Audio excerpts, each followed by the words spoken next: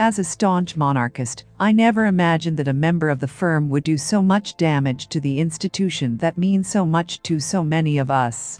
But it's not just the damage to the monarchy as an institution that's so hard to see and hear, though in fairness I try not to see or hear anything from that direction. Prince Harry also went into self-destruct mode with an institution, he says. He cares a lot and it's military. The rude comments in his forthcoming book Spare about his actions in Afghanistan have a number of consequences.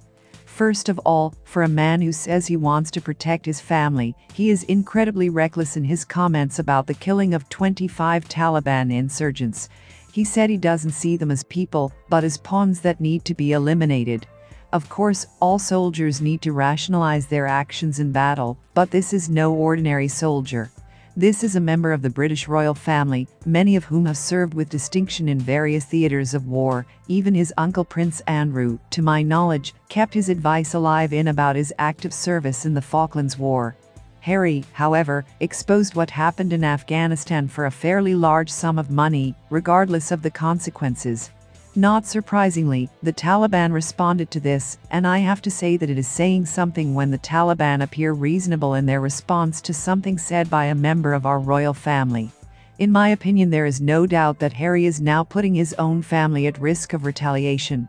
Not only did he endanger his own immediate nuclear family, but he also spectacularly disappointed the military family, who we believe thought highly of him, with his down-to-earth attitude to service.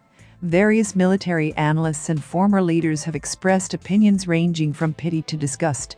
Not a good image for a man who values empathy, camaraderie, and humility. At last he has disappointed the Commander-in-Chief of the Armed Forces. Strength with your comments.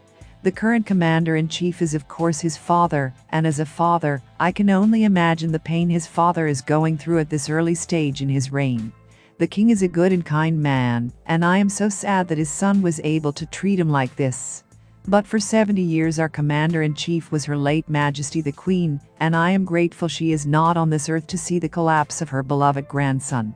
We are told that the late majesty was very fond of Harry, and greatly enjoyed his sense of fun.